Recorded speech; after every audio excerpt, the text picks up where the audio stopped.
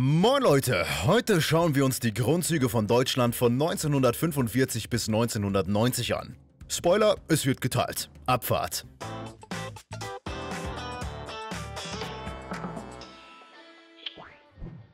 ...1945 sind die Kämpfe vorbei. Auf der Potsdamer Konferenz treffen sich die drei großen Hauptalliierten, um die Lage zu besprechen.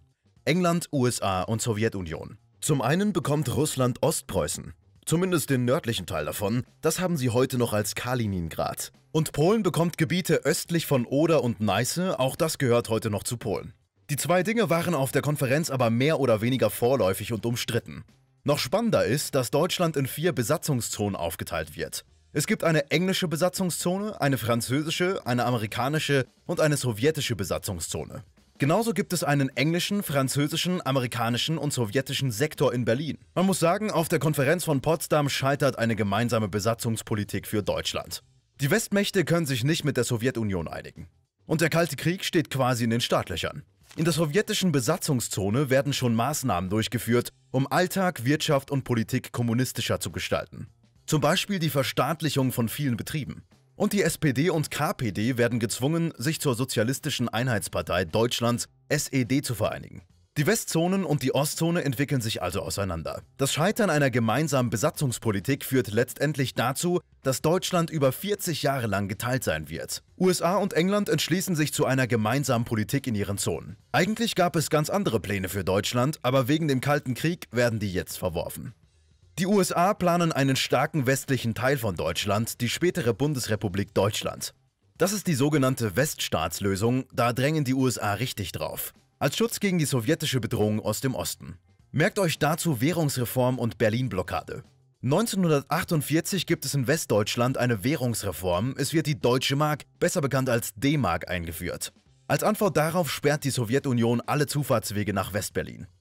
Die USA müssen Westberlin mit Flugzeugen versorgen. Außerdem wird eine eigene Währung, die Ostmark, eingeführt. Die Berlin-Blockade fördert im Endeffekt die Weststaatslösung.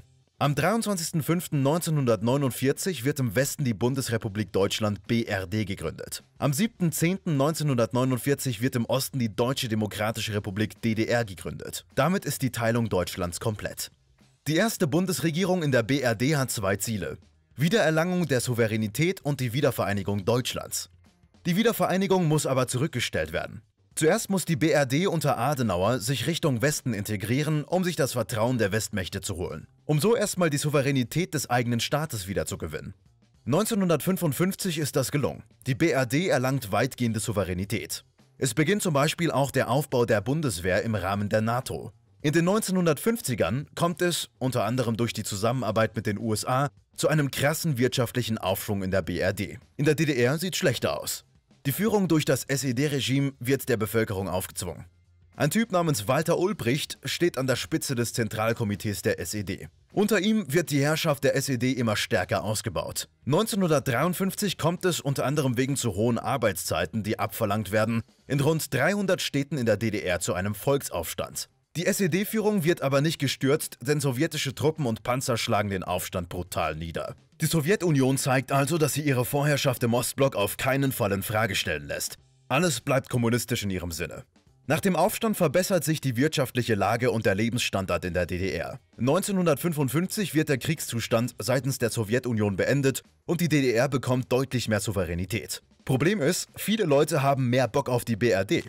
Das System ist freier, es gibt mehr Demokratie und der Lebensstandard ist wegen dem Wirtschaftswunder viel besser. Die innerdeutsche Grenze ist eigentlich zu. In Berlin fliehen aber noch viele Leute in den Westen. Da ist quasi das Schlupfloch. Das wird auch Abstimmung mit Füßen genannt. Man verpisst sich und zeigt so, dass man gegen die SED stimmt. Um das zu stoppen, wird 1961 die Berliner Mauer gebaut. Danach müssen sich SED-System und Bevölkerung mehr arrangieren. Von 1961 bis 1970 wächst in der DDR die Wirtschaft und der Lebensstandard erhöht sich. Die BRD ist aber noch weit vorne. 1971 wird Erich Honecker die neue Führungsspitze bei der SED. Der erkennt die Führungsrolle der Sowjetunion komplett an. In den 1970er Jahren kann sich die DDR weiter stabilisieren und ist schon ein recht modernes Land.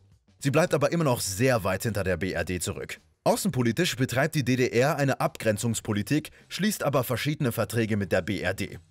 Zum Beispiel bekommt die DDR Anfang der 1980er hohe Kredite von der Bundesrepublik und baut im Gegenzug Selbstschussanlagen und Minenfelder an der innerdeutschen Grenze ab. Insgesamt nimmt die Kritik am System in der DDR weiter zu. Außerdem hat man besseren Zugang zu westlichen Medien und es gibt Reiseverkehr von der BRD in die DDR. In den 1980ern bleibt die Wirtschaft krisenanfällig, man wird politisch bevormundet und weiß nicht so recht, auf was man sich einzustellen hat als DDR-Bürger. Und nebenan in der BRD läuft's viel, viel besser. Deswegen wächst der Gegensatz zwischen der Bevölkerung und der SED-Führung immer weiter. 1985 wird in der Sowjetunion Gorbatschow als Generalsekretär gewählt, damit kommt Schwung in die Sache. In der Sowjetunion gibt es jetzt nämlich Reformversuche und das lässt die Bevölkerung in der DDR hoffen. Aber die DDR-Führung bleibt hart und grenzt sich mehr von der Sowjetunion ab. Dadurch, dass trotz Gorbatschow die SED keine Reformen vornimmt, ist die Bevölkerung richtig abgefuckt. Im Mai 1989 geht's dann ein bisschen ab. In Ungarn gab es Reformen und die Grenzbefestigung zu Österreich ist abgebaut. Das gleiche passiert später in der Tschechoslowakei.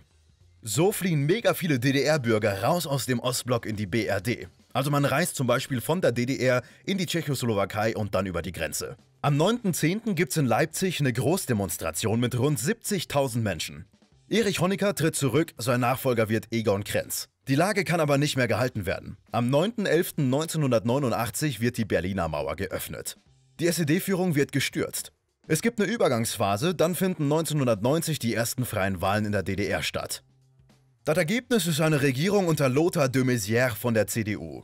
Die neue Regierung handelt mit der BRD-Regierung unter Helmut Kohl die Einzelheiten der Wiedervereinigung aus. Am 3.10.1990 wird Deutschland wiedervereinigt. Die DDR tritt nämlich der Bundesrepublik Deutschland bei. Deswegen heißt es auch neue Bundesländer. Jetzt sind wir aber erstmal durch. Vergesst nicht folgende Punkte. Sowjetische Maßnahmen in der Ostzone plus USA wollen starken Weststaat. Ergebnis 1949 Gründung der BRD und DDR. BRD Westintegration Wirtschaftswunder.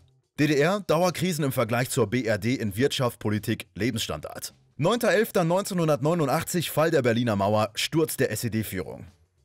So Leute, wenn ihr mehr zu dem Thema erfahren wollt, dann kommt einfach auf thesimpleclub.de und auf unsere App. Bis gleich dort, einfach hier klicken.